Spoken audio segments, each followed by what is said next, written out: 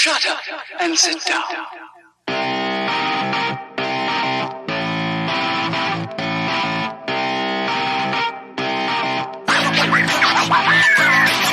What's up, everybody? Welcome back to Third Shift. This is episode 220. I, of course, am your host, the greatest man who's ever lived, your funky leader. It's me, it's Matt. With me, as always, it's my best friend, the Beastmaster of Third Shift. He doesn't have another nickname. You got to get another nickname on there. The light bearer, the light bringer, Well, that's it comes together in the Beastmaster. It's like and the Beastmaster. Yes, I know. so. It's It's all one thing. We got to get going on it. We got to make up some more. I can do it, man. I got all sorts of titles. The the unlucky son of a you know whatever. that one works. That one works. The unluckiest man on the planet, except that's not true because you have a thing that I don't have right now, and actually, you actually got me the thing that I have that you don't have. So you're you lucky. saw how I got that though, right? You Yeah, I did saw how it, I got yeah. that. Okay. you understand the cost. You should have put that up on Twitter. Actually, that would have been a good That's Twitter true. post. That's true. I'm not up with those hip kids though, man. I don't know how to do things on Twitter. That's hard. It's like a video. You gotta like click things, links. I don't know. But with me, my- it's the Beastmaster Third Shift, the least savvy social media customer in the planet. It's Eric, and we're gonna ask him, Eric, how was your week this week, my dude? Wow, it was a great week, everybody. I started my whole adventure at work in a whole new place in a whole new land, all sanctioned off by myself. I'm protected. Somebody came in with potential COVID and was like, oh, I think I'm sick. And then they got sent home. And then I was like, hey, people, like, what's going on? Due to the confidentiality, we can't tell you these things. And I went, oh, well, hopefully I'm okay, everybody. I don't know. I don't feel sick, so I think we're all right. This is the one time I'm glad we don't work at the same building because we would have been in the potential COVID situation and we're dumb idiots. So we would have just been yapping and talking with each other the last four days anyway. Mm-hmm. And then we just start spreading it all over the place. Ah, so there you go, folks. Yes, I got to keep working. Yes, I get to go out and endure the world as it stands. But that's been the work life, family life. It's been chaotic and busy. The kids are all now doing school from home. My wife still has to teach. She's just having to do a million and one things. It's driving her up a wall already. It's crazy. It's difficult. It's insane. And here I go off to work every day and I can't help. So it's unfortunate. So real life right now has been just busy, busy, busy, busy, busy. I did score that PlayStation 5. It did arrive. I've played it for about one day now. I've gotten like, so, you know, a couple few hours in total time. Uh, I still really haven't played it though because I keep just like looking at stuff and trying to figure things out. And then by the time I start to get to the point where I think I should play a game, I start to wonder if I should play that game or if I like have to download it for the PlayStation 5 instead of off the ex- extended storage drive to get the benefits from it, which I find out that you actually do. So if you play from your PS4's extended drive, it will not upgrade it. It will not do all the fancy cool PS5 stuff. So you have to upload your saves all to the PS5 and then delete everything and then re-download it all for the PS5 to then get your 60 frames per second and all that other crap going. So when I figured all this out, I was like, ah, this is a lot of work.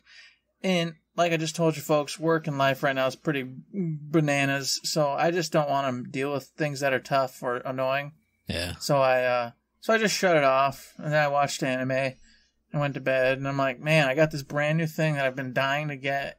And every night I'm like, I'm gonna, this is the night I'm going for it. And then I just turn it off because it's difficult. Here's what you do. You just download that Crunchyroll app onto your PS5. And then you That's technically, I'm on my PS5 all the time. I'm on my new. PS5. Yeah, watching Crunchyroll. But then can people see what I'm watching? 'Cause I want people judging me for what anime I watch. You know what I mean? I want someone like kicking, oh, you're watching Inubuta Yuka Yuka. Oh, It'll just say you're in the Crunchyroll app. I mean, you don't see all the crap I watch on YouTube. It just says Matt's on YouTube. YouTube. Okay, perfect. Because I watch a lot of cool stuff on uh, Crunchyroll, and then once in a while I'll go watch something really weird, and then I'm like, "Oh, this is not what I thought it was," or "This is weird," and I was hoping it was going to be. You know what I mean? But I don't want someone to see me watching something that I, I, I was questionable, and then they're like, "Well, Eric's weirdo," and I'm like, "No, no, no, I, I didn't know it was this. I was kind of, I was just checking it out. It looked cool." This makes me want to have an anime discussion with you because I added like Kuroko Puchuku high school climbing girls to the queue. It's all about like rock climbing is uh, this team. I'm like, what the hell is this? I'll watch a couple episodes. What is this? Yeah, exactly. And then it could turn south. You know what I mean? Yeah, you're like, exactly. no, no, no, no. I, I, I, I wasn't meaning to watch this kind of thing. I, I thought it was something different. Leave me alone. Sure you did, buddy. Sure you did. And and you know what? I shouldn't be shaming people who like that anyway. I have nothing against it. It's just yeah, yeah. even if I was watching, I wouldn't want people to judge me for it. So you know, just privacy. That's all. Right, right. So, anywho's, there you go. I'm playing that a little bit. I'll be playing more tonight. Hopefully, a lot more tonight after the show and get the kids to bed. I'm gonna be up rocking and rolling. So, hopefully, we'll have some fun there. And then, last but not least, FF7 Remake, World of Warcraft, Godfall. Those are the games I've been playing this week. Yes, no Gearbox games, but that's false because Godfall is a Gearbox published game. Mhm. So I'm still in the realm of Gearbox, folks, alright? Uh, But I haven't touched Borderlands. I do feel bad about it, but I wanted to play it once I had it on the PS5, but then like I told you, I found out I gotta actually delete it, do it da da to get to 60 frames per second. It's a whole rigmarole. Anywho's, briefly, World of Warcraft, same old same old, nothing special, I won't elaborate. Godfall, I got through a few more missions. I'm still in the Earth realm, so I cannot uh, pass judgment. Um, the more I play, I'll have a lot more to say. Like some of this is some of it's still real fun and really cool, but there are some issues I'm starting to see. But maybe it changes as we go along. So I don't want to like really say, "Yo, I don't like this" or "I don't like that" because I don't feel like I'm far enough yet. It's a gorgeous game, regardless. It it is fun. It is worthwhile. But uh, I am starting to find some stuff where I'm like, oh, okay, this might not this might not hold me all the way through. You know what I mean? But I'll reserve judgment and I'm going to keep playing and I'll report back to you as soon as I do. And of course, FF7 Remake. Love this game. I finally beat it last night. Finished it up. I'm going to say briefly, and I'll talk more about this a different day.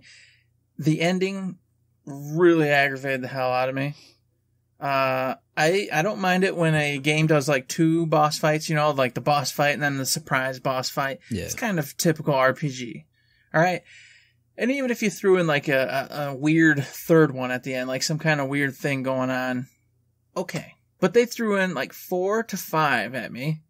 And after that, I was like, I can't do this. So I quit. I, I turned it off. Because they did at least let you save after each and every one. Okay. Then last night I said, okay, come on. You, you gotta, do- you gotta finish this. It's the last one. It wasn't the last one, man. It wasn't the last one. It wasn't even the last one. I had to go through another boss fight after that boss fight to finally finish it. So it was like six or seven boss fights all total, all right in a row. Cutscene, boss fight, cutscene, boss fight, cutscene, boss fight. All in a row. I'm like, this is ridiculous. You don't do this. This is a huge no-no. And that's not what Final Fantasy VII was. When you got No. out of Midgar, you were out. You had like Mhm. two things. You had the big boss fight up on the roof, and then you had the motorcycle and then game, the motorcycle escape. and then you left. And then you were free. Exploration, all sorts of cool stuff. And instead they were like, no, boss fight, boss fight, boss fight, boss fight, boss fight. And I was like, this is too many, especially since throughout the game they only had like three or four like big boss fights. So I'm like, couldn't you just like put more boss fights and more cool events throughout the game? Yeah. instead of just in the back end here at the very end having it just be boss fight extravaganza that was it really bothered me and it sucks because it's so damn good The only thing I can think of is since this was supposed to be a very episodic game, and then it took him like a million years to do this one. The only thing I can think is like since it is now just going to be, it's just going to be this game for forever until the next episode, whenever that is. I feel like maybe they crammed it all in at the back end to make it feel like an epic whole big experience. You beat the game by going through the boss trial run, as opposed to you beat the boss on the roof, you had the fun motorcycle mini game, and then see you next time, whenever. I feel like people would kind of crap on that, but then at the mm-hmm. same time, if you have like five to six bosses in a row that also weren't in the story anyway, like how how can you do that? You shouldn't do that. You can't do that. yeah it, it, it messed up what i was expecting and everything else so it kind of brought me down at the end because i was hoping for that big finale and a big cool cutscene and then i was going to just drift off into happy land and be done with ff7 until the next one that didn't happen But either way, a fantastic game, a glorious game. I enjoyed every minute of it. It was great playing through it all over again. The last note I'll take before I ask you how your week went, Matt, was to let everybody know if you're playing that and you you get into boss fights, especially towards the end, the guides. Like I got, t- like I told Matt the other day, I was like, I started getting annoyed. I was like, all right, I'm just gonna look at the guide real quick and just cheat my way through this and see what this. You don't have to. Those guides they make it sound like these fights are like really difficult and crazy, and you got to have all this specific materia and gear on. Last night, I disregarded everything I said, and I just went with the builds and gear and the material I use and what I like on my characters and how I play them. I smoked it. I smoked it. Yeah. It wasn't an issue. I went through there and smoked the whole freaking house without any problems. But if you look at those guys, they make it look like it's about to be just a wreck shop of a day and it's going to be insane and you got to have all this particular items and do this and that. And I'm like, eh, no, you don't. If you know what you're doing and you guys got a really good build, just go with what you got. You'll be all right. So that was it, Matt. What about you, buddy? Well, I'm gonna I'm gonna segue that into a game that I was just playing recently, and I did that exact same thing on. Is I got back into just like two days ago. I was sitting around with my Switch, and I put it in the dock to charge, and I was like, man, I feel like I feel like playing a game that's like in my hands. I feel like having wrestling on the TV or whatever, and I just want to play something that just exists in my hands and it shines on my face and I look at it with my eyeballs. And I walked over to the other room here and I grabbed my Vita out and I went, you know what? I'm going to start working on Persona 4 Golden again. I'm going to start getting through the end game of that. Junes is in my head. There you go. And I, I did some of those, you know, the, those lazy days at the end, got up to the ski trip and then went and, oh man, here's the new dungeon. And I was like, all right, sweet, new dungeon. And I was like, I didn't go into any dungeons in this whole like month prior to from the, you know, the end of the actual first game to this. And I went, hmm, I wonder if I'm under leveled, over leveled. Let me look up some guides for the bosses because I don't care about the bosses. I'm here for the story. I don't care about the fights. Mm-hmm. And it went, oh man, you got to start doing this. You got to make sure this character's this and this and this and this. And I was like, okay, I, I mean, boss strategy, I get it. But I didn't look at any boss strategy for the other ones. I just hit it with elements until I found it one it was either weak to or my one spellcaster is really good at. And I just did that. And then I hit him with, with King Key over here. And then I looked at someone else. I'm like, oh man, the for the four bosses that are coming up at the end for you, you got to be at level 75 for this one. You got to be level 85 for this one, and then 95 for these last two. I was like, level 95? Are you freaking kidding me? I'm at 81 right now, and I smoked the last boss, destroyed him with no problems at all. You know, the main game last boss. Like, I'm not leveling up 15 more levels. And then either GameFAQs or Reddit, to their credit, people were like, uh, no, I didn't have to be at level 95. What are you even talking about? So I, I got, I got those same feels where I was just like, I just want to know a little bit. And they went, oh, you got to do all, blah, blah, blah, blah, blah, blah. and I was like, no, I'm, I'm just, it soured my, it soured the experience that I wanted to have in reading the guides for the bosses. Mm-hmm. Because I was just like, no, that's ridiculous. That's stupid. I'm just going to go in and I'm just going to hammer it with physical attacks. I'm going to punch this guy a lot and he's going to die. And I'm going to heal and I'm going to use SP items. And there you go. I'm going to win. But getting back into Persona 4 Golden feels so good. Hanging out with all my friends again. It just, it feels good. It feels right on a Saturday night. Same thing with Animal Crossing New Horizons. It's fun to spend time in a easygoing, fun game where everybody in the game loves you and it's the complete opposite of real life where everyone hates you and treats you like garbage. Animal Crossing, you're you're the king of the island and everybody loves you and it's great. There's not much else to say.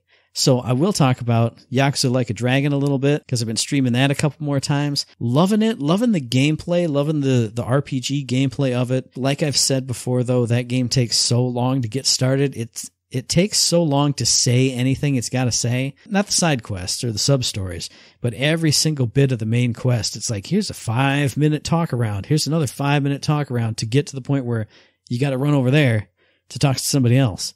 Oh man, Whoa, man, Costco, what do you think about what that guy said? Oh gosh, Nanba, ah, gee whiz, I don't know. And it's not bad because I love the characters. I like the story so far. It has so much Yakuza stuff to distract yourself with sub stories and fun activities and crazy characters and going to the bar and, and singing karaoke and remembering your good days with Carl and how you want just want to cry on his Oh, picture so at the bar. Yeah. Fantastic and amazing. So it's a lot of fun. I just sometimes I wish I could cut a little bit out of the, the, the presentation of the story and just have more time just running around town battling just random battles. Even the random bat- the random battles are fun. I like them. So I don't know. I'm enjoying that. And then the last few days I've been getting into Hades super duper heavy. I think because I took such extended breaks from it in the past few weeks, I got into it and just ramming through that dungeon and escaping time after time after time, just absolutely nonstop. It feels so good. I feel so overpowered, even though I haven't made like big changes from one run to the next. I mean, my, my darkness mirror, its main aspects are all pretty much maxed out and have been for these past like seven to eight runs. But just all the different boon combinations that I'm finding now, they seem to synergize so much better that when I get to the last boss, it's a, it's a joke. Like I, I posted on Twitter the other day, I got Aphrodite's call, which sends out a little heart and charms the enemy for like six seconds. And then I had all these like God gauge charge up abilities that, that all stacked together. So it was like boom, put a charge out. And then any enemy that I fought had two seconds after my first charm before they got charmed again. There was a two second gap in between and it was just constant charms, just boom, boom, boom. And I had the flurry jab on my spears. It's like, the gauge is just going charm, charm, charm. Absolutely ridiculous. And even for runs that I don't have super overpowered builds, I know that boss's movement and strategy so much that even if I'm playing super turtle cautious, it's just it's just a joke. The only way I could possibly lose is if I just ran into his face all the time. So I'm loving it. It's feeling so good. I actually just rolled credits on it today. I got a run and, you know, got the credits, got the whole big ending and changed the way that things are going in the game. Made two more runs after that, which were just as easy, even though I'm steadily adding those hard modifiers to get up there. Man, the game is so much fun. I love just the action, clickety clickety clack, and all the buttons and dodging my dude all around and doing all the crazy stuff that I know how to do. Oof, feels so good. I love it. Got to play it again. I played it two times, got to the Hydra on my second run, and I haven't touched it since. uh, just it, it fell, you know. Just kind of was like, yeah, this is gonna be great, and then. Whew, and I went FF7 remake, bam. Well, now you got that out of the way. When you have one hour to kill, you can either do two, you know, short runs or you can do one big, long, amazing run. One big old long run, yep. I gotta get in there and get for it, especially since there's uh, so many spots on the upcoming Game Awards Mm-hmm. stuff for that game. I want to make sure I'm knowledgeable on it because I uh, I definitely got a nice a nice uh, repertoire going this year. I've played a lot of those games or watched them be played from start to finish, so I need I need to get Hades added onto that. Yes, you definitely do. And you mentioned the Game Awards, and we're going to get there in just a second. But something else we're knowledgeable about is shift codes for Golden Keys in Borderlands Game of the Edition and Borderlands 3. Randy Pitchford dropped in some magical Borderlands 3 codes, so hit up the Twitter, the Reddit forums, the Instagram, hit up your preferred shift code provider, get yourself some free loot in two fantastic games. You're especially going to want to get those Borderlands 3 Golden Keys because they got the new Golden Path mini event that's going on right now. Oh, look at you segueing without me. Oh, okay. I see how it is. You couldn't resist, could you? I'm grown Double up. I don't need daddy to hold my hand no more. Woohoo! I'll do it myself. Don't tell me what to do. That's right, folks. While you're getting those golden keys, you need to get on the golden path, boys and girls. It's the Gold Path mini event, November 19th through December 3rd. A big old nice window there for you to get in, play some Borderlands 3, but not just play Borderlands 3. Go through the story, brand new 60 frames per second, vertical screen with friends, all that good stuff. It's all up and running. It's all there for you. Play it, have a good time. Special main events, you know, missions, etc. throughout the campaign are going to reward you with guaranteed legendaries as you roll out. What's not to like? Now, instead of just having a chance, you're for sure, while playing with your buddies and pals, gonna get legendaries throughout these missions, which is gonna help you out, give you the edge, kicking butt, taking names, get you all the way to the end so you can play the DLC, do the arms race, all that good stuff. This is absolutely fantastic. For me, this has been needed for a long time because you and I, we both together and or separately went through that campaign twice, all the way through on normal, all the way through on True Vault Hunter mode. And I said to myself when that was done, I'm never playing this campaign again. I've seen it all. I've seen it all twice. This is the one thing that could get me to do those story missions again. If we were just hanging out. Hey man, want to do some runs? Want to do some story missions? Well, I told you, I told you, yeah. This is Heck yeah! I mean, it's coming. we'll get some legendaries guaranteed. Now, the one thing that does make me sad is this doesn't apply to the DLC, doesn't apply to the side missions, anything like that. But I wish it did. But those are the things that I love playing. It's the main story that just to me is just, I did it already. It's done. So for people like me, this is great. Hopefully they'll slowly broaden this out to the DLCs and all that stuff too. But I think it's great. It's a smart thing because this is the stuff that people aren't going to want to just sit there and grind through and play.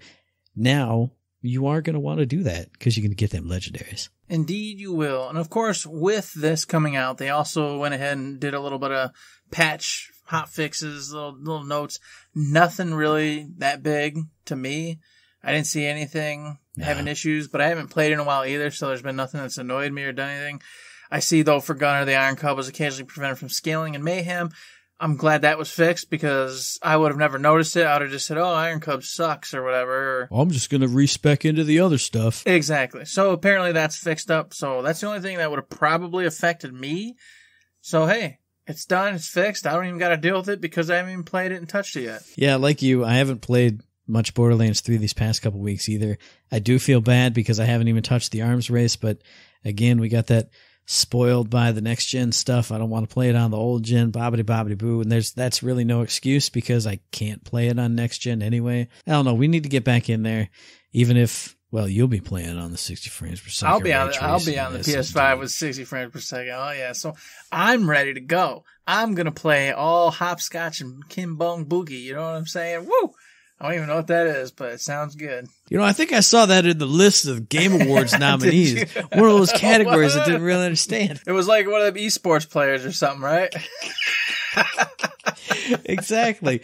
But as always, every year when the Game Awards roll around, we do a The Game Awards special here on Third Shift where we tell you all our picks, all our nominations, who we think was going to win, all this stuff. And we're wrong 100% of the time, except we're not because we're smart fellas and we know what's going on. But I, I got to say, I was totally surprised that the nominees came out what was it yesterday? Because i was i was sitting in bed. I was getting ready to go to bed the day before and it was like randomly like a promoted tweet from Geoff Keighley who said hey game awards nominees are coming out tomorrow and i went what? How I guess like no news sites and nobody I follow on Twitter even knew that that was going to happen. So otherwise, if I didn't see that random promoted tweet, I wouldn't have even known. And now, boom, here they are right in our faces. And now it's everywhere though. Now you would have seen afterwards because every single site in the world's got it up now. Yeah, yeah. Talking about it, who's got what, podcasts everywhere, talking about why, who got snubbed, who didn't get snubbed, who deserves it, why, blah, blah, blah, blah. So we're of course here today, boys and girls, to give you our picks for who the hell's winning and taking it in the Game Awards this year. And then of course, usually sometimes we didn't really discuss it. I think we cast out, we used to do two. We do who we think will actually get it and then who we want to get it. Right. Do we want to do that or just do who we think should get it? Our personal picks, you know? Now, I, I, obviously, I want to do personal picks, but if you think your personal pick isn't going to get it for a reason, then you're passionate about it. I would say, why not throw it out? I mean, we won't go into super big detail about anything. Oh yeah, I like it. And of course, with that, we're gonna start at the bottom of the tree. We're starting with the esports team, Matt. Who's taking it, man? I know you pay attention to all these. I know you're in there watching them esports. Who's got it? I don't watch none of this crap. I don't watch any esports. I, I'm 100% sure that somewhere on here is a League of Legends team, but the League of Legends teams I used to know are not on this anymore. So I have no idea. The esports team, mm-hmm. I got nothing. I, you, I know you got nothing. You got nothing either. Oh, I do too. I got it. I'm telling you, the San Francisco Shock is taking it all the way, Matt. Why? All the way. Because you know why? Because podcasts tell me that they were really good and it was a lot of fun this season. That's why. Because just like you listen to us out there, you take our opinions, you say, hey, my buddies Matt and Eric, they told me this thing was stupid or good or whatever. I do the same thing with other people as well. I go, Sure. wow, they told me this was great. And everybody says San Francisco Shock was great. I don't know why, because I didn't watch a single game or did anything involving it. But you know what? They play Overwatch, and they must have did pretty good because everybody was real happy.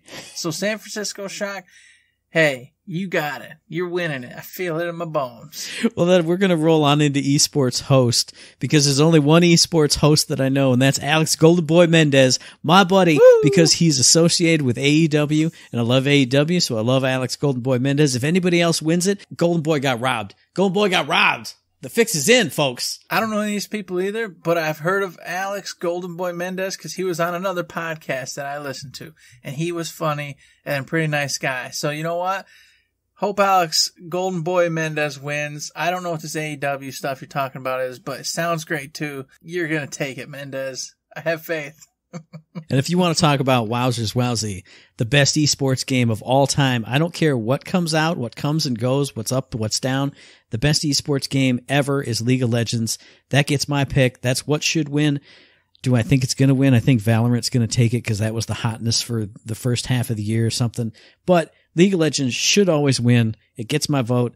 That's what should it, it's what should win. Rubber stamp it. Boom. It's done. And here's where we finally change up the course of reality here because Fortnite's actually taking it. No, it's not. This year, Fortnite has been smoking it. All right. They've had so many really cool events out there. They've done so much great stuff with that game and made everyone just pay attention to Fortnite over and over and time and time again. you may be right, but wouldn't that be something for ongoing game and not esports game? Because they've had cool Nah, just- cool events and It's just the it's just the best game, man. It's gonna win. I, I see exactly where you're going, and you're right, but I don't care. It's just Fortnite's got it. It's taking all the categories. well, Don't even try. Don't even try to use logic, rationale. That pfft. I don't know what that stuff is. My job teaches me that all that doesn't make sense. Well, if you see where I'm going on that, you should definitely see where I'm going with esports event. Because what's the best esport on the planet? League of Legends. What's the best esport event on the planet? League of Legends World Championships 2020. I will say the one esport that I ever got into watching was League of Legends. I loved watching the little tournaments, the little brackets. For like a year and a half, I got into it. So League of Legends always gets my vote. It gets my vote here too. Boom, boom, boom, boom. I'm going with the Overwatch League grand finales. Okay, good old 2020. I heard all about it. I, I didn't watch it this year at all, like I already told you, but I've heard all about it. It's been everywhere. There was commercials out there for it. That freaking podcast or shows were talking about. You get into the Overwatch itself and you couldn't see anything but, hey, watch Overwatch League. Get this, get that, get that. Yeah. They've done a fascinating, awesome job of just like throwing that game out there and promoting it everywhere and making sure that whether or not you pay any attention to this stuff, you're going to at least hear about Overwatch League. So I think they're going to take it. Sounds good. Moving on to esports coach. There's a person here named Grabbz, and you know uh, my my hands are named Grabby and Squeezy, so I'm voting for Grabbz because you know my left hand says it must be so. You know, I was I had a hard time with this one because I really I'm in on this. You know what I'm saying? I really pay attention to these coach people and what they're doing out there, and I was like, God, man, Crusty, wow, Crusty knows what's happening. You know, anybody named Crusty, they gotta know what's happening because they've been around, they've been in the game a long time. That's how you get Crusty. That's just the way it is, you know. I was just gonna say you want your coach to be named Crusty. He's gonna have one eye, bald, big old grizzled beard, leaning on a cane. Mm-hmm. I'm gonna tell you how you how you Ca- how you Catheter. tank League of Legends, bro. Yeah, he's gonna smell a whiskey constantly. Yeah, This is a good person to have as your coach. They're really gonna lead you to the great and mighty things that you're looking for. So, Crusty, you're gonna get it. I have faith in you. Don't disappoint me. Speaking of people who will never disappoint you, the best esports athlete on the planet, it's Kim Canyon Geon-bu because the name Canyon reminds me of Eric's Grand Canyon plan and it makes me happy. So that person gets my vote. You stole it, Matt, because I was gonna vote Canyon too, because I said he knows what's up. Me and him are gonna be on the cliffside together, Uh-huh. having a good old time on our last day. Maybe I'm gonna trick him into throwing me off instead of vice versa. Uh huh. and he'll be in trouble. So we'll see, Canyon. Meantime, hey, good luck to you. I hope you take that best esports athlete and get a million trillion dollars and make everything and do all the cool stuff that I'll never do. Speaking of making a million trillion dollars, next up, content creator of the year. Again, the fix is in. I've been motherfucking snubbed once again because the content creator of the year is motherfucking me. I am the best. I have the best streams. I do the best podcast. I'm the best man who's ever lived. I say it in on the podcast, greatest man who's ever lived. I'm the best. I should win this again this year for the however many year in a row. You know, I'm glad you went that route. I'm gonna say I feel like my name should have been put in the running. I don't know if I should have won it, but I feel like my name should have been up there. I'm definitely as cool as TimTheTatman. Oh yeah. You know what I mean? I feel like I've totally got it. I can be bald too. I can grow a beard too. I can make jokes. You know, I can do the same things he can do. So I'm right in that. I'm right in there. I, I should be on this list. I should be in place of him because I got my first crown in Fortnite like two days in, and he got his like two years in. So come on, Yeah. who's who's the best content creator? It's me. You know, and then you yeah, you you as know. like second place. Yeah, second or third. You know, I'm fine with that. I'm right in there. I like it. That's all I wanted. Now, who do I think will probably get it? I don't really know. I do pay attention to a few of these in a serious note, but uh, I'll just go with TimTheTatman because you know what? He's been in several of the different streams I've actually paid attention to that I do watch. And he's not a bad individual. He seems like a pretty cool guy, pretty calm, chill, except for when he's not, when he's doing like the bits and when he's, uh, when he, well, like you said, when he was doing that whole stupid Fall Guys bit where he couldn't get it and then the whole world watched him try to get his Fall Guys thing.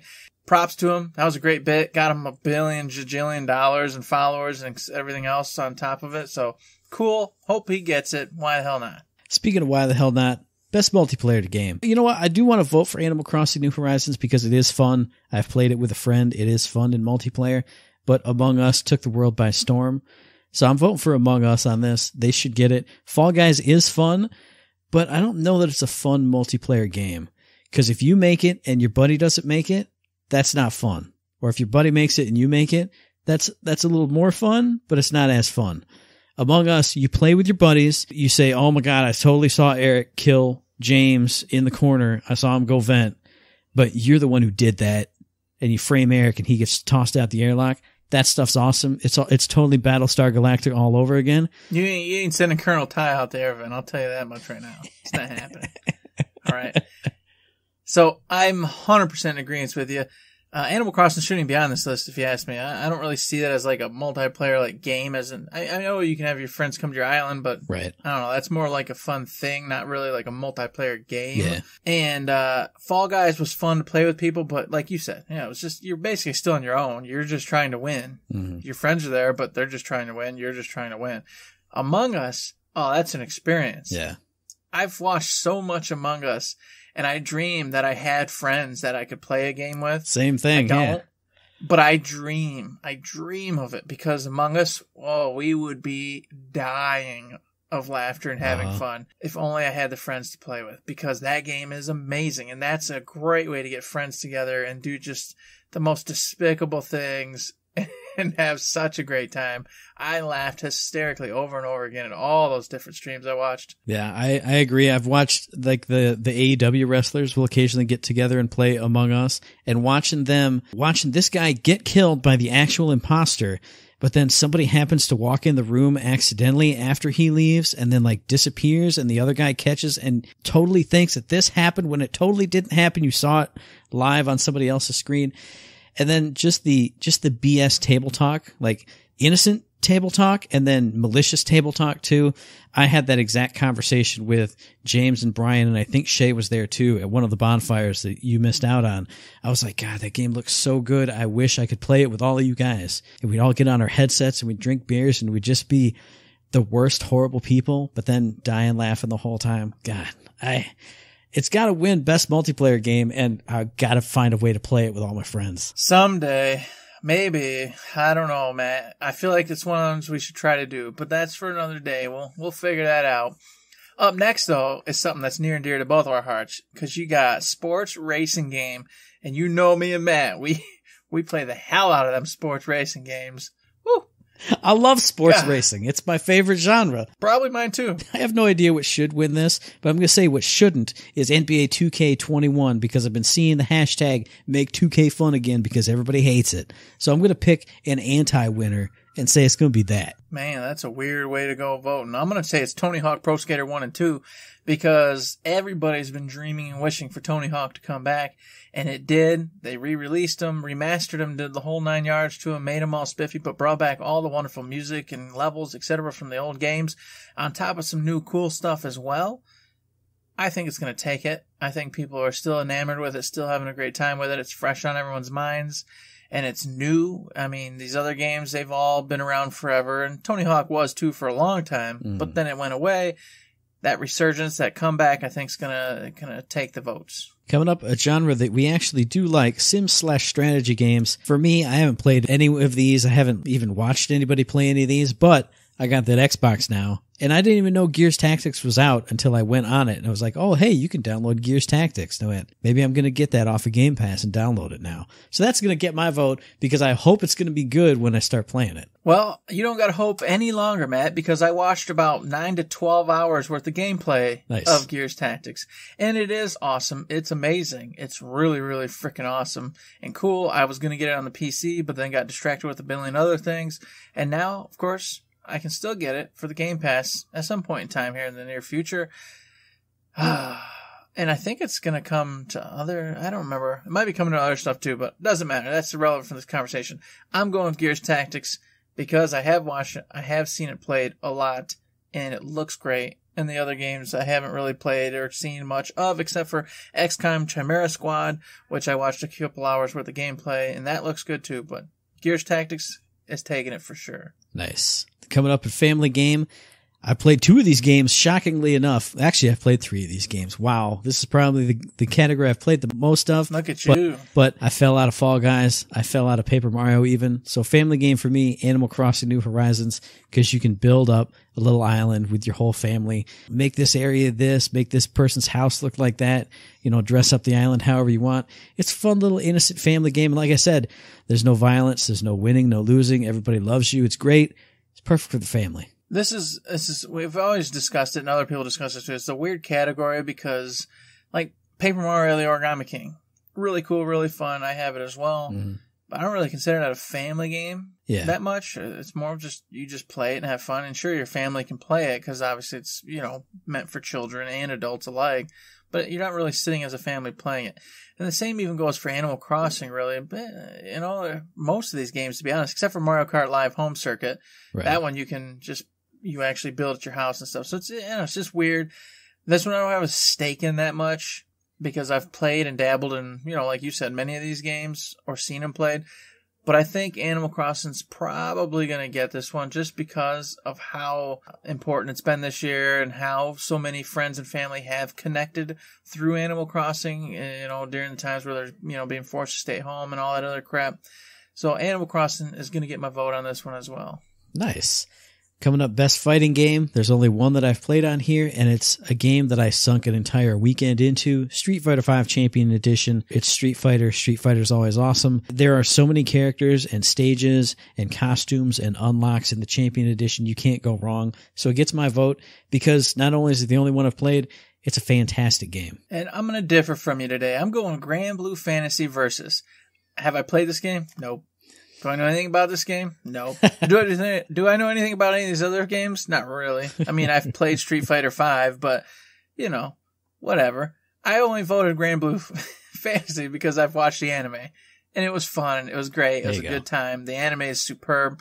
Well, I wouldn't say the the story's okay, but the actual animation, you know, that it's superb. Really good job on it all. Mhm. So I'm going Granblue just because the anime was good and I had a great time with it. So there you go. Best fighting game. You're taking it home, Granblue. Do me proud. Coming up, it's the category that will determine if we are still friends or not after we talk about this.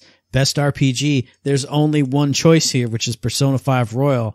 Anybody who chooses anything else is a punk and a bastard. So what are you picking, Eric? I'm really mad at this one, man. I'm mad at this one. Because here's the deal, and I won't go into too much detail because we gotta keep rolling. But I will say this: Persona Five Royal is the best game uh, forever of all time. yeah, It was supposed to be the game of the year. That's where it's supposed to be. yeah. And so I'm supposed to be able to vote for Final Fantasy VII Remake here because uh, Persona 5 Royal is supposed to be at the top top. Yeah, yeah. And then I vote for that there where it needs to be, where it should be, where it deserves to be. And then I can give props to my FF7 Remake because it needs props and it does need love because it is a fantastic game. But alas, the Game Awards didn't do what it should have done. And so here I am now having to watch Final Fantasy VII Remake go by the wayside in this particular category because there's no other vote than Persona 5 Royal. It's just the way it is. And I'm in the same boat for Yakuza Like a Dragon. I would love for it to get some shine and some love right here because I don't think it's going to anywhere else But Persona 5 Royal the Juggernaut is here, and I have to vote for it, and I can't give any love to Yakuza. So sorry, Yakuza. Mm-hmm. But the other game that I love more than you even is here, so you're done. Yep, that's just the way it goes. And then, of course, we come upon action adventure game. Wow. God bless. I've looked at these and I've played or watched the entirety of a gameplay of pretty much all of them. Ex- oh, all of them except Ori. Mhm. So, oh, this is a tough one. This is a toughie, okay? Because I try to remember how much fun I had with Star Wars Jedi Fallen Order, you Yeah. know, but this was last year now, so it's a long time ago. And I remember really liking it and having a great time with it. But Ghost of Tsushima is so fresh Mhm. and so right there in my mind. And of course, Last of Us 2 is good, but it's not my jam, even though I did watch it all the way through and play it. Assassin's Creed Valhalla was really good, but once again, that's not really my jam. I don't really get down with the big open world, goofy stuff like that usually. So, Ghost of Tsushima has to take it for me because that's the one I have played. That's the one I've beaten. That's the one I've platinum. That's the one I go into the the legends and I'm still having fun in and still want to have more fun in. So you're gonna take it because you did such a great job, Sucker Punch, and I hope to see you get more awards and more credentials, you get more people that are awesome at their job coming to you and making even more Ghost Tsushimas. I 100% agree with everything you said, except use the words freshest and hottest in your mind. But the freshest and hottest in the minds of all the voters is going to be Marvel Spider-Man Miles Morales. That's going to take it. Although I wish it was Ghost Tsushima because it encapsulates it perfectly. It's action and adventure. You're on this grand sprawling thing and they did such an amazing job with it. Ghost should win. I don't think it will just because of Spider-Man being here. And and Miles Morales is really good. Well, yeah, I'm not. I'm not saying it's bad right. or anything, but it's going to be the freshest, hottest HDR Yeah, textures, frame rate. I don't think it. It just stinks because I think overall, I think uh, Ghost has more to it, yeah, and is well, it is a much larger game as well. So just I think a lot more love, care, and etc. That's not fair to say. So I don't want to say that because that's not uh, what I may mean. I know Miles Morales had a lot of work into it too, a lot of love and care, yeah. but just so much more. I think had to get put into Ghost than Miles because they were able to reuse assets from Spider-Man, that kind of thing, et cetera, et cetera. But it is fantastic. I don't want to. I don't want to agree with you, man. I want to believe that Ghost will get some accolades here. You know, so I'm just gonna ignore that and close my eyes. Well, just ignore that because we're going on to best action game. For me, there's only one choice here because it's the only game I've played. I'm voting for Hades. And when I saw this category, I was thinking this isn't really a good category for Hades because to me, Hades is not just the in-game action. It's all the story, all the characters, all the build up, all the world all around it. But then since I've been playing it nonstop for a week, this is a fast action game. Like when you play it and you're you know, I almost said like doing high level play of it, but when you're doing that high level play, you are dashing and moving and juking and jiving and chucking out all your abilities fast and furious and wild. Hades gets my vote. I probably don't think it's going to win because people won't think of it as an action game, but it totally is one and it does deserve to win. What about you? I would say you're partially right. Okay, it's an action game, but it ain't an action game like Doom Eternal's an action game. All right, Doom Eternal is an action game. You don't stop, and it's just pure action, pure madness, pure chaos. Hades has slow times. Hades has bits where you're in the palace talking to your buddies, doing RPG things, petting dogs. Oh, let me pet Fluffy, the little chubby dog. You know what you do in Doom Eternal? You keep killing. You never stop killing. You know what? Every time you go to your ship, you're like, oh, okay, yay, your ship's infiltrated. You keep killing. You kill, you kill, you kill. No, no, no, Mr. Stop Eric. it. You may have forgotten, but I remember those two streams you did all year where you like, you killed one room and then you stood around and you went, what's that? What's over there? Let me try and jump. I didn't jump. I didn't make it. Hang on. Hang on. Look, I'm going to run over here. I'm going to look in this corner. I'm going to stick my nose in that corner. I'm to. That's me trying to find the secrets, all right? It's And got some slow times. I'm just saying. You're Two streams boy. I did all year. Oh, it hurts, man. It hurts. It was more than two, you bastard. I'm just messing with you. Goodness. But yes, Doom Eternal has it in the bag. I think uh, there's other spots where Hades can take it.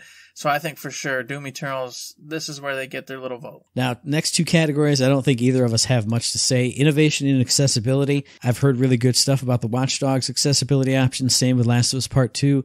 Same with Assassin's Creed Valhalla, but I know nothing about it because I am an accessible man, so I don't have any problems or don't need any of these things. So props to you guys who did great stuff in this category, but I have no pick. I'm in the same boat. I don't have a clue as to who did a great job, who didn't, because I'm just a normal human with all my faculties about me.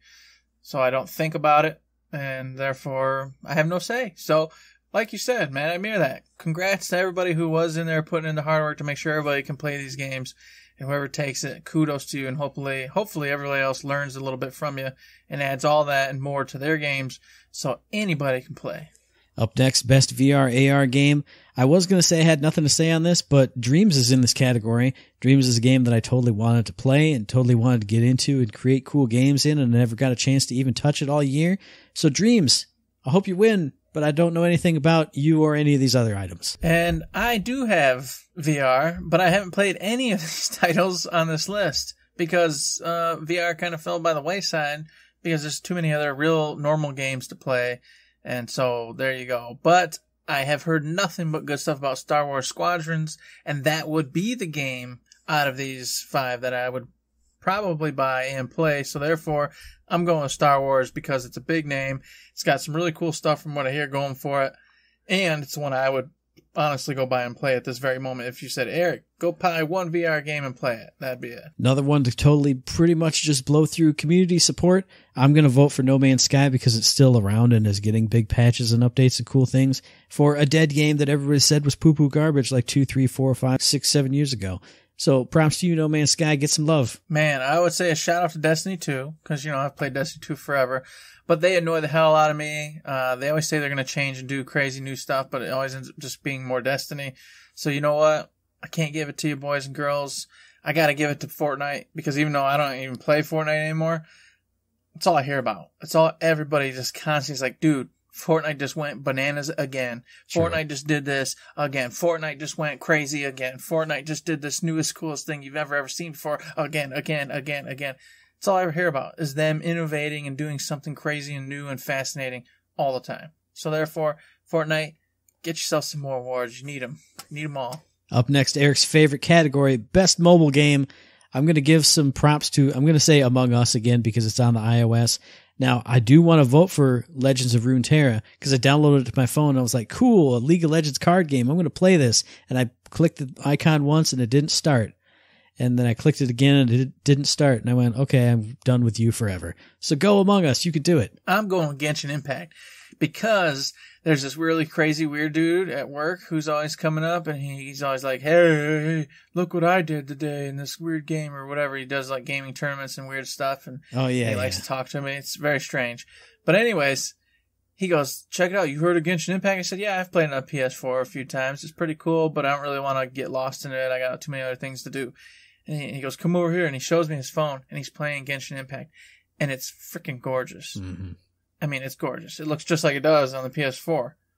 Literally. Yeah. And he's just running around killing baddies, doing what he's got to do, having a great time. And I went, that's just a, it's just a real video game on the phone. That's just a real video game he's just playing. And I went, there it is. They're, they're doing it. They're doing it, folks. Mm-hmm. Real, just regular old video games on phones. And I went, son of a bitch.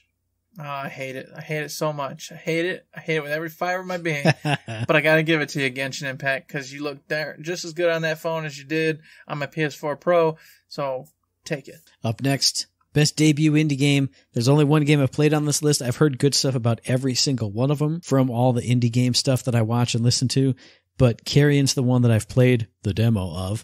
And that game is awesome and amazing and cool. And you're a disgusting, weird monster eating scientists and ripping them apart. What's not to love about Carrion? I wholeheartedly agree. I have seen quite a bit of gameplay of the Phasmophobia. A lot of people playing that, having a great time, and I thought it was super cool how you got to interact and talk the ghost out, and then how you do stuff with each other to you know get the pictures of it and get the different checkpoints so you can leave and say and get your money and all. It's really cool. But Carrion, it's really fun to play. It was definitely one of those titles where both of us were like, we're going to get it, we're going to beat it. And we didn't get around to it. And I'm just sad because it was a lot of fun. And I still to this day want to play it and want to beat it. And maybe I will. But I hope it gets some love. So that was the best debut indie game. Here's the best indie game overall.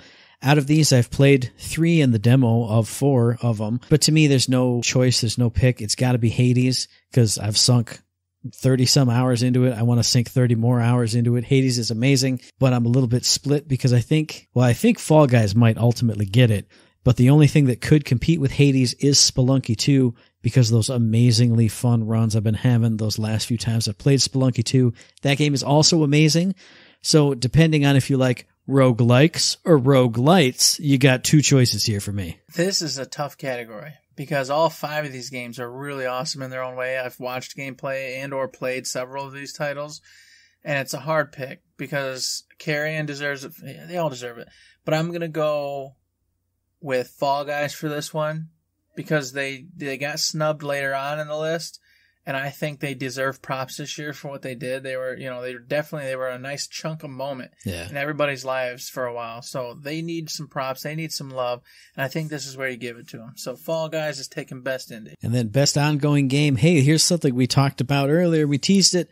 Best ongoing game for me. Again, No Man's Sky is going to be the only thing that gets a vote here. I haven't played any of them, not even much No Man's Sky, but the fact that it's still around and still ongoing, that gets my vote right there. And for me, I'm going with Destiny 2 in this one.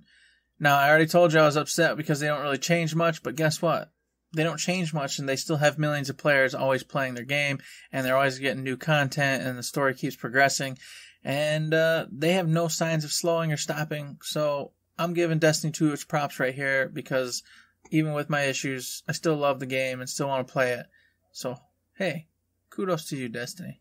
Next up, a category that I'm never really sure what to what to say about or how to think about it. Games for Impact, but there's one game that I've played on here. It's the game that took like seven or eight years to finally finalize itself. Kentucky Route Zero. It's an amazing game. I don't know that it fits the category necessarily, but I love that game, and this is the only place it's on the list, so it gets some love from me right here. Well, this one I don't have much to say on. Uh, I've only seen a little bit of Spirit Spiritfarer played, so I'm gonna go with that because that's the only one I really know anything about besides what little you know Matt said about Kentucky Route Zero.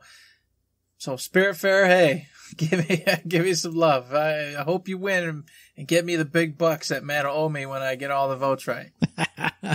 Yeah. Next up is performance, and I'm so torn on this one because I always vote for Laura Bailey in here because she was the boss, the female boss in Saints Row 4, and it would be my favorite voice actress ever.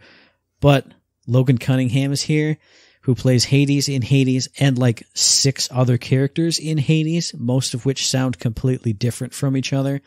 So once I found out that that dude did all of those characters. This is also the narrator for Bastion. He's in, he's been in all the other Supergiant games. He does so much in Hades. He's not just Hades to make that world and, and all those characters breathe.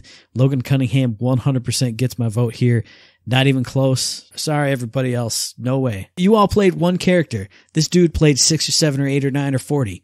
The guy's awesome. You got a point, Matt. You got a point. But he's only being checked up on as Hades. And Hades was cool, but you know, he didn't, it's not like, well, I've only done two rounds, so it's not like I know all the times he talks, Uh-huh. but he's only said a few words. And you know what? I've seen Nadji Jeter and Miles Morales. I've seen Ashley Johnson as Ellie, you know, Laura Bailey as Abby. And of course, I'm not pronouncing that name right. I'm gonna screw it up. Jin Sake, you know what I mean? So, I can't, I can't go with you on this one, even though I think you're probably right. He probably does deserve a lot of really cool accolades. I've got to go with Laura Bailey. So we're switching it up. I'm Okay. going with Laura Bailey this time as Abby because I hate her. I hate her so much. I wanted to choke her to death throughout the entire game. And I said, well, if you can make me want to choke you to death, you've made me feel something that I normally, well, I, I normally feel it all the time. Huh. Just kidding, folks. No, you did a great job. You made me hate that character, and rightfully so. And of course, I know they didn't want that to be the case. They wanted you to kind of get a, a reverse of that and see their life and whatever. But no, she made sure you understood what kind of human she was. And it was a human that I despised, and I thought it was a fantastic job. So, Laura Bailey, hopefully you take it. Next up, audio design. I only have played one of the games on this list, Ghost of Tsushima. It sounds like samurais running around, you know, through the grass and cutting people and hitting people with swords and shooting arrows at them. So that gets my vote because it sounds like they designed it to be Ghost, and it was Ghost. Hmm. This one was another one that's kind of tough for me. Because Doom Eternal, man, just the audio, everything in there just makes you want to keep killing, makes you want to keep fighting and going. But I don't want to say it's a one trick pony, but it kind of is. You know, the whole Yeah. thing is just about motivation and push. Whereas I think uh, Ghost of Tsushima has all them different moments, and when the wind blows and this and that's going on, you know, a lot of finesse to it. Last of Us 2 is the same thing. Just the sound effects made you feel like it was real life. You know, you'd hear the, the dog barking in the distance, the shouts from over here, the, the weird birds or the explosions, this and that. It was really surreal, kind of like, you know, in your ears going for you. So it's a toughie for me. But I'm going to go with Ghost of Tsushima on this one, just because, once again, I had such a fantastic time with it, and it was so well done audio wise. I can't say that it's a bad choice. Cool. There's only one choice for me for score and music as well because I've only played one of these games, and it's Hades. And this is a very underrated part of Hades. I think I've said it before on Third Shift proper, and if not, it was on the What You Playing. The music in that game is phenomenal. When you are fighting bosses for decently long times, when you don't just crush them like I do, you can sit back and appreciate how badass that boss theme is. How rockin', how rollin', how cool. I love everything about it. When that title screen music hits, it gets me pumped. When the boss music hits, that gets me pumped. I love the score and music in Hades. Again, I haven't played anything else, but Hades deserves some love for here. I think this is a category it's going to get overlooked in though. Yeah, I'm going to overlook it because FF7 Remake is going to be my vote here. I know I just said that the music in Doom Eternal is fantastic, but once again, you can't. If you're if you're a patron, you're going to hear uh, my my notes and talk recently about FF7 and what it does for me. And it does it all over again in the remake, but even better because they got orchestrated for everything in there. So every song, everything is just beautiful and just gives you all sorts of thoughts and emotions and ties all the different towns and events all into this this thing and that they want you to feel and see and hear and they do such a wonderful job with it so ff7 remake i hope it takes it it deserves it Coming up next is art direction. This is what I'm torn on because Hades' art direction is great. I love the way the characters look. I love the way the world looks. I love the look of the house of Hades when you're in it. And then all the things you can do to change it up. Spoiler alert for anybody. All the things that you can place down in as you're working with the contractor. It makes it come alive. It makes it pop. It makes it look fresh and cool. But nothing beats Ghost of Tsushima when you come out of the forest and you see that big old vista of flowers or you're on top of the mountain and you see that overlook and you can see, you know, from one coast to the other essentially, or you're going through that bamboo forest that's just absolutely ridiculous. The look of Ghost of Tsushima wins it for me just cause there's nothing else that looks like that. I mean, until the next thing that looks like it, you know what I'm saying, Mhm. but it looks amazing. It's, it makes every vista worth it. You know, I don't know. I think it's great. I think it's gorgeous. I think Ghost should get it here. I'm in the same boat uh, i think hades is gorgeous as well just like you said ff7 Ori is freaking gorgeous. Yeah, I mean, yeah. all these games, all these, this sucks because all these games deserve it, I think. I think all of them do a fantastic job. Mhm. and the art direction and, and how you just feel inside of it. But for me, like you said, Ghost takes it. I mean, the, when all the flowers are floating around and then you cut into the trees and it gets dark and there's like the little, the little lanterns kind of Mhm. popping up and, and the little night flies and whatnot going around and you can't beat that. It just feels so dang good.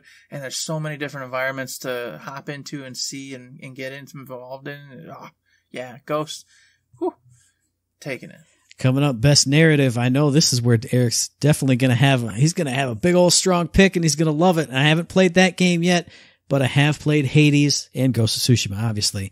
But to me, Hades gets it because of the evolving narrative that takes into account the cycle of you dying. The game is around you making these runs and dying and restarting and going over it again. The fact that that's worked into the narrative at all is amazing. But then the way that the story builds on itself, the more runs you go on, the the more you talk to these characters, the more you get to know them, they start telling you about their past, their struggles, and you find side characters that can help them out with all that. I think they did a fantastic job all, with Hades all, all around, all over the place. But this is another underrated category for it, in my opinion, because people think, oh, it's that one you run around, you, you hack up gods and stuff. Uh, but the story in Hades is fantastic. I've just finished it today and it was fantastic and lovely. Hades gets my vote here. Well, I there's another category where all of them have a great story, a great narrative. I like them all. I wish all of them the best. I enjoyed these games, but 13 Sentinels, Aegis Rim, man. I'll tell you what. I've talked about it on the show proper. I've talked about it on some of our patron only stuff. The narrative in this game is insane. It's stupid insane. Like it just. I've said it before and I'll say it again. It takes a puzzle piece and then pop, and then pop, and then pop, and then pop, pop, pop, pop, pop, pop, pop, pop, pop, pop, and all of a sudden, all the things and all the stories and all the characters they start linking and meshing, and then the story starts to just fit into place. And it is super rare that you see stuff like that happen, especially in video games, when they take one idea and just pop little pieces on it at a time, and then your eyes just open wider and wider and wider and wider to see everything that was around you the whole time and what's going on. 13 Sentinels does that. Plus, it's gorgeous to boot. The characters are just fantastic. They've got that same mm, whole vibe that Persona does. You know, you I want little statues now. You know, of of the 13 Sentinels characters. I want to I want to get them stickers and decorate my little hobbit hole down here with all the cool 13 Sentinel stuff. But it's so expensive and it all comes from Japan and I can't afford it. But I want it. It's a great game. This is where it gets its moment at best narrative for sure. Y'all are some psychopaths if it doesn't get picked. Coming up next, here's a category that's really tough for me. Most anticipated game, because I don't anticipate none of these. You don't? Nothing. You don't anticipate any of them? Nothing, man. Nothing. Huh. That's weird, dude. Okay, well, for me, hmm, God of War sequel. You know it, everybody. Yeah, yeah. yeah you know, I can't. I, I was. I was kind of. Elden Ring's got. I want to love that game, but I already know what's going to happen in that game. And the future's already been foretold. I'm going to get in there and I'm going to get hit and I'm going to tell, say something to the wrong person and I'm going to end up in some hole living with rats somewhere again. And I'm not going to understand how I can fix myself or get out. And it's going to, it's going to end tragically. So I want to say Elden Ring because I know it has potential to be one of the grandest games ever. But God of War sequel, I know for a fact it's going to be fantastic, and I know for a fact I'm going to play the hell out of it and love every minute of it because the previous God of War is still probably one of the best games of all time. So, God of War, do it. You take it, boy. So just to boy. just to elaborate on it for me, I'm not a Halo guy, not a God of War guy, not a 3D Legend of Zelda guy, not a Resident Evil guy.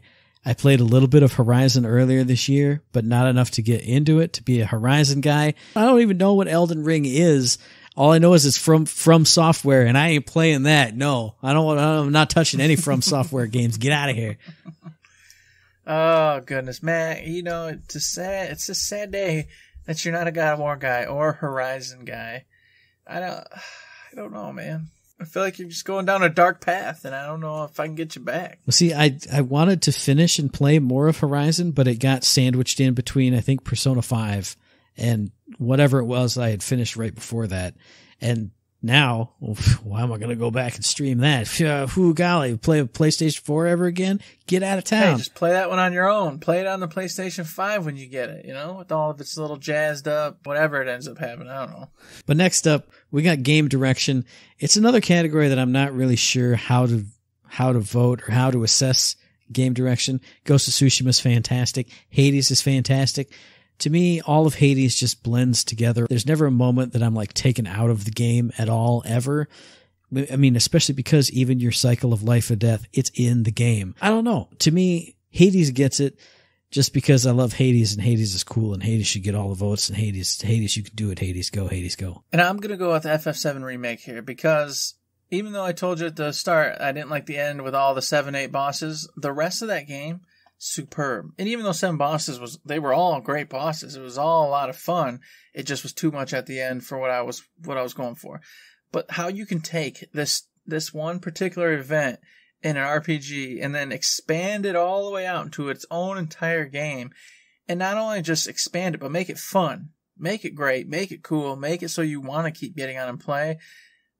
That requires a lot of work. That requires a lot of love. That requires a lot of dedication to not only expand and make it so you can play a whole RPG in this little tiny expanse of the actual original game, but then on top of it all, keep all the characters the way they were, the way they sound, the way they feel, the story play out the way it was supposed to for the most part with some minor deviations, but overall the way it's supposed to.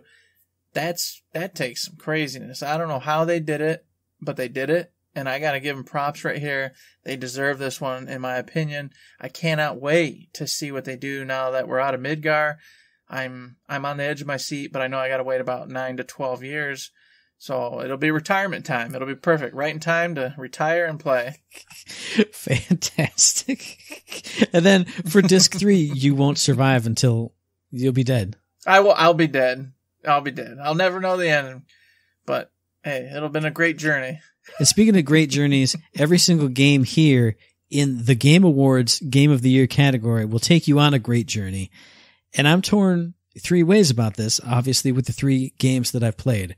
Ghost of Tsushima was fantastic. It took me on an awesome, epic adventure.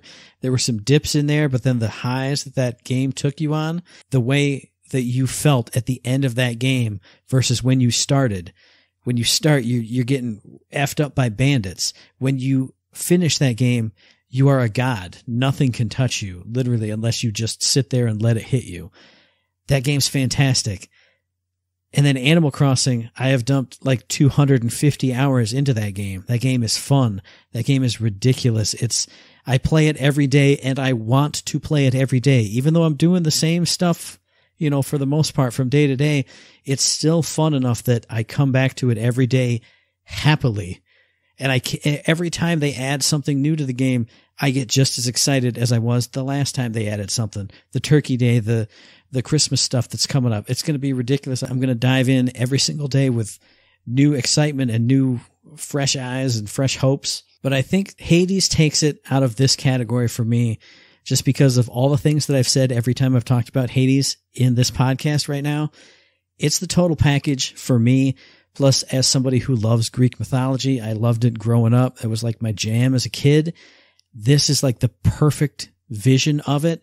Everything you know about Greek mythology, everything you sort of remember from when you were a kid, they have little threads of the narrative that go into that. You know, these side characters that you remember, like, oh yeah, he's the, who is this? Oh yeah, that's that guy that he met that one time. And then they totally have a little thread association that goes from this character to that one. You get to see the aftermath of certain characters who, you know, through mythology, this thing happened to them. Now Hades, the game takes place after that's done. So you can, see where those two characters ended up. You can bring them back together or split them apart, you know, depending on which way the Hades narrative goes. Out of these games in this, the Game Awards Game of the Year category, Hades takes it. The three games that I've talked about are all fantastic games. Every single one of them deserves it. But for me, is Hades here in this category, not my game of the year category that we're going to talk about here on third shift in a month or two. But Hades gets it out of here for me for everything I've talked about. The game is freaking amazing. I agree with you. Hades is amazing. And Last of Us, these games are all amazing. All right. There's a reason why they're on this list. There's a reason why they're here for the game of the year. We'll talk about our own at a later date and time. But of this list, it, it was really difficult for me. Uh, you know, I, I know I'm missing out on some Hades because I haven't played it enough. But I gotta say, I don't play a lot of games more than once. Doesn't happen. You're not. You don't get Eric Batten to play a game more than once almost ever. There's very few games I'll do that for.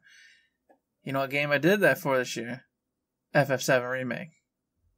Now I can promise you, if that game was not fantastic, and I'd gotten to chapter 14 like I did, and then my stuff was all erased, I would not have played it again.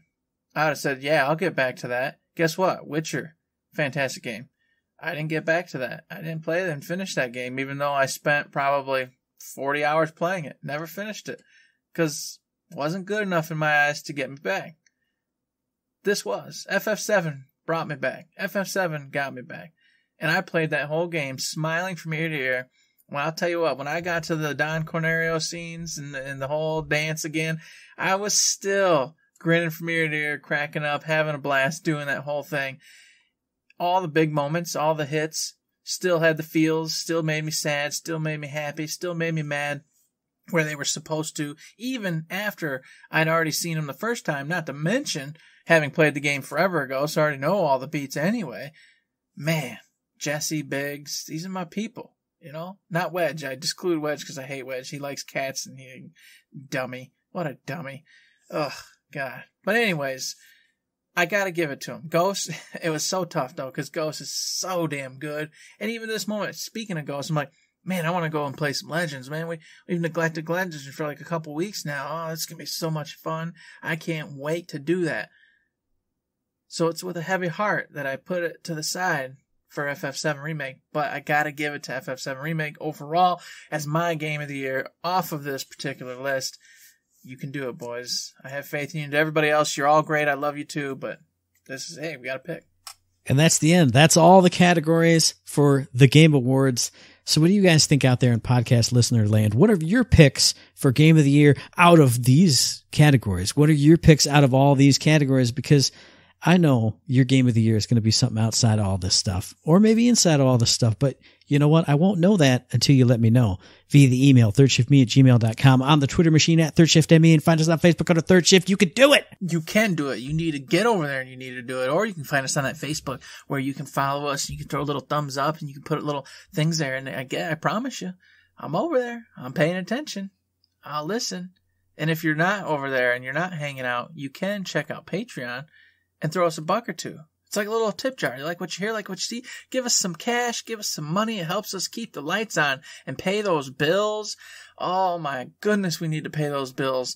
And on top of it all, we got a little thing where if you give us a million bucks, we're going to open up a food line. We're going to have all sorts of fun. We got babies in jars, cold cocks, patented, soon to be patented, unpatented, patented, whatever it is. You guys know the rigmarole it's going to be there somehow, some way, in some shape or form. Hopefully, maybe. I don't know. It's going to be, I keep saying it's going to be a weird, wacky world if it ever happens. You could be that one to make this world happen. Consider it. But if you can't, that's fine too. You can throw us all sorts of support in the way of mailbag questions. Hey, telling us what your game of the awards, game awards, games of the year are and all that good stuff. You can support us over on Twitch, follow, subscribe, all that over there. Gives us, gives us, use, gives us a language, speaky. I don't know. You can also give us all that love and support over on Twitter, iTunes, five star ratings. You guys know what I'm talking about. Get out there and do it. We need it, we love it, and we want it. Another thing that we need you to do is listen to the very next episode. It'll probably be an abbreviated episode because the next episode is supposed to drop on Thursday, the 26th. I won't even be here. Yeah. Yeah, so I, th- I think you and I will probably do some kind of pre-recorded, like what games you're thankful for this year, little hub drub, hubba bub, something something nice for the people, just a little, you know, a little short thing. So take a look out for that on iTunes, on Stitcher, on Podbean, on Spotify, or on YouTube. And as I always say, if you like what we're doing, you'd like to help us out, please give us a like, a rating, a review, a comment, a subscription, and get a good thing on any one of those good services because it does help us out, and we really do appreciate it. Indeed, we do. And we appreciate them old five stars. I hope y'all come out. With the time of Thanksgiving coming, the time of giving, the time of love and sharing and caring you got to give us them five star ratings. So get out there and do that. And then you can go to your family's house and eat a big old turkey leg and say, I gave, I shared, I cared. And you can feel better not choke on that turkey leg because you gave us five star rating. And if you don't, you're going to choke on your turkey leg and you'll die at Thanksgiving. And with that, there's nothing else to say but.